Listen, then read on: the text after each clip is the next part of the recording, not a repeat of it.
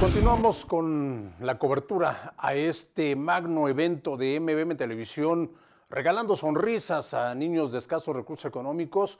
Nuestra presencia, la presencia de todo el equipo de MBM Televisión, camarógrafos, compañeras de redes sociales, eh, personal administrativo, nuestros compañeros conductores de los vehículos, por supuesto, eh, los mandos jerárquicos dentro de esa institución, como Willy, por ejemplo, el productor general de, esta casa eh, productora, estuvieron muy, muy atentos entregando todos estos juguetes. Pero ¿qué es lo que, lo que piensan nuestros compañeros? Mire cómo captamos a nuestra eh, responsable del área de noticias, Andrea Fenocchio, eh, regalando juguetes y también, por supuesto, dándonos su opinión sobre la atención tan importante que significa eh, el llevar estos espacios y momentos de felicidad a los niños. Esto es lo que opina Andrea Fenocchio, nuestra coordinadora general de noticias. Vamos a ver.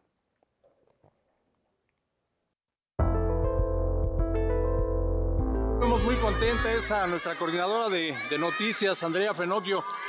Andrea. Hola, ¿cómo está? ¿Cómo está la gente?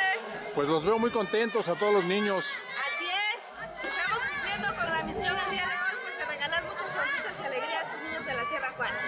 Nuevamente, y la pregunta que le he planteado a todas las personas con las que he tenido oportunidad de platicar, importante darle la atención a la niñez, Andrea.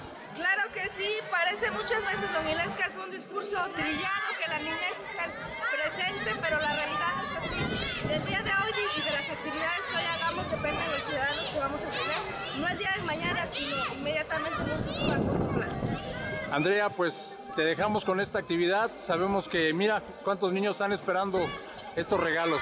Claro que sí, don Ilesca, es un saludo a todas las personas de Espacio Ciudadano. Gracias, Andrea.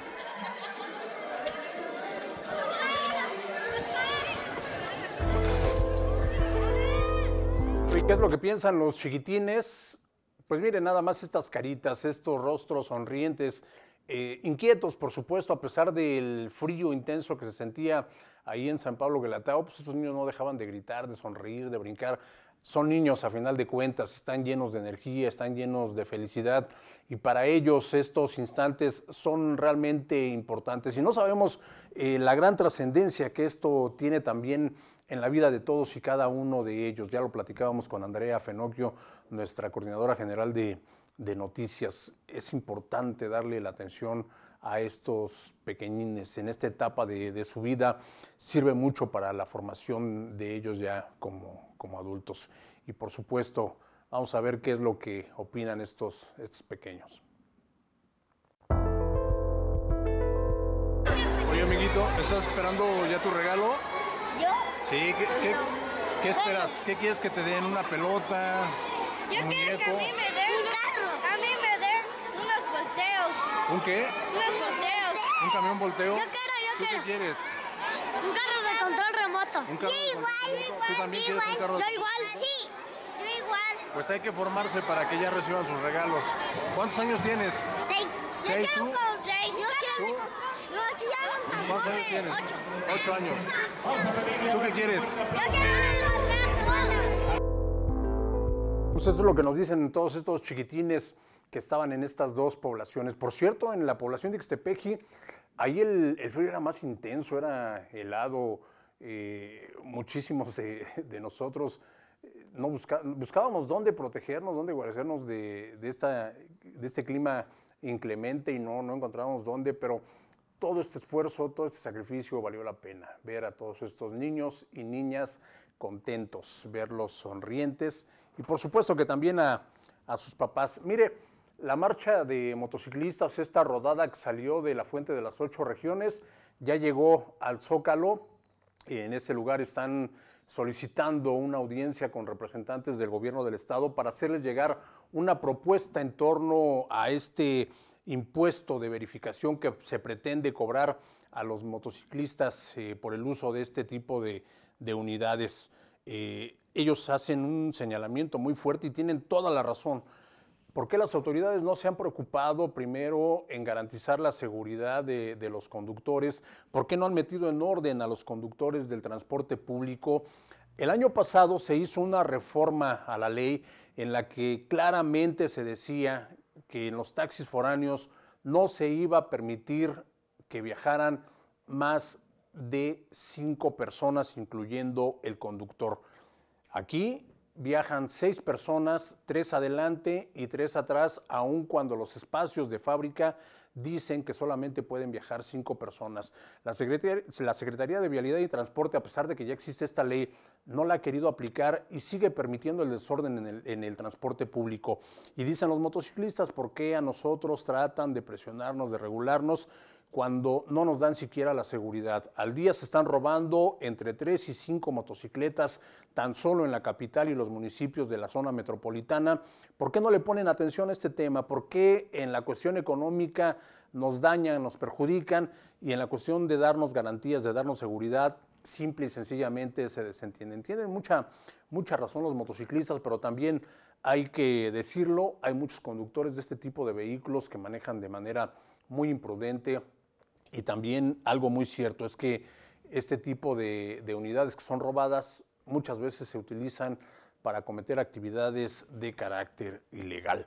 Pues este es el tema que hoy están exponiendo eh, estos clubes de motociclistas en esta rodada de protesta, una rodada que ya llegó al Zócalo de Oaxaca y en la que se exige, bueno, la atención por parte de las autoridades a las que les corresponde tratar este tema, el tema del transporte en el tema de salud.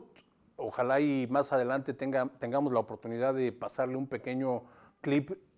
El secretario de Salud, Juan Díaz Pimentel, llegó al Hospital General Aurelio Valdivieso, lo abuchearon, él respondió de pues una forma, creo que no, no, no era la correcta. Eh, ojalá y podamos eh, pasárselos en, algunos instantes más. Eh, pero este tema está llevando a la suspensión de actividades en los hospitales de Putla de Guerrero, Pinotepa Nacional, San Pedro Pochutla, Tlajiaco, aquí en la ciudad de Oaxaca, por supuesto que también hay protestas. Se nos informa que eh, las oficinas del Seguro Popular también han sido tomadas. Un asunto, un asunto que se viene arrastrando desde hace muchísimos años y que parece ser va para, va para largo.